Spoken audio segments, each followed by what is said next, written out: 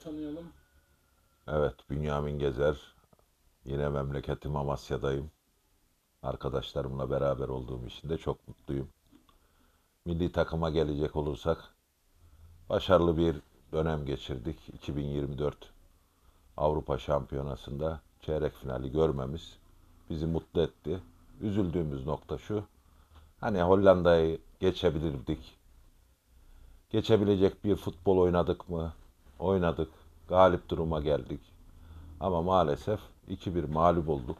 Son dakikalarda kaçırdığımız %100 goller vardı. Hele Zeki'nin atamadığı gol bizi ziyadesiyle üzdü. Ama genç bir jenerasyon, bu jenerasyonun da ilerleyen yıllarda mutlaka Avrupa'da, dünyada, Dünya Kupası'nda önemli işler yapacağına emin olduk. Güzel bir turnuvaydı. Öne çıkan oyuncularımız vardı. Barış Alper gibi. Her ne kadar kamuoyunda zaman zaman eleştiri alsa da ben gördüğüm kadarıyla Barış Alper son derece başarılı bir futbol oynadı. Şimdi gol atamadı, asist yapamadı diyorlar ama takımımızı önde tutan çok önemli bir oyuncuydu. Arda'nın klası müthişti. Arda çok gerçekten dünya yıldızı olabilecek bir potansiyele sahip olduğunu bu turnuvada gösterdi.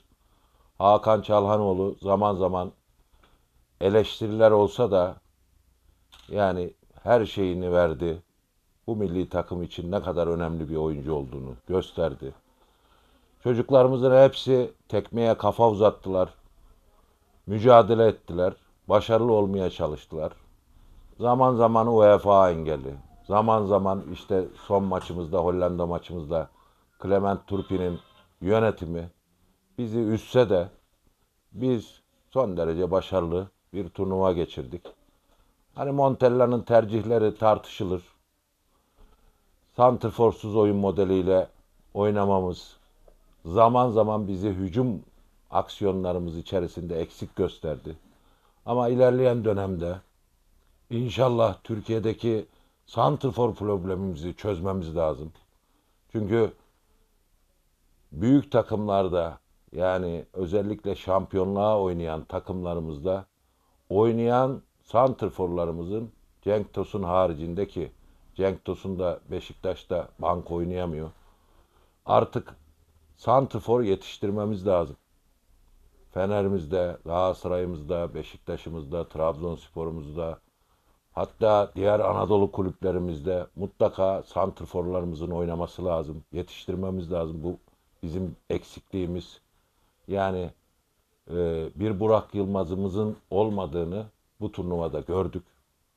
Keşke öyle futbolcularımız, banko oynayacak futbolcularımız e, olsaydı da o zaman daha rahat belki Montella'nın santrforsuz oyun tercihini belki bir nebze daha fazla eleştirebilirdik. Ama umutluyuz. Semih Kılıçsoy'umuz geliyor. İnşallah çok daha iyi olacak. Ee, bu milli takım her şeyle Kenan Yıldız'ıyla, efendim Ferdi'siyle, Mert Müldür'üyle, e, stoperlerimizle, eleştirdiğimiz ya oynar mı dediğimiz Samet'iyle, Abdülkerim'iyle tabii ki kaleci Mert Günahımızla çok daha iyi işler yapacaktır. Buna yürekten inanıyorum.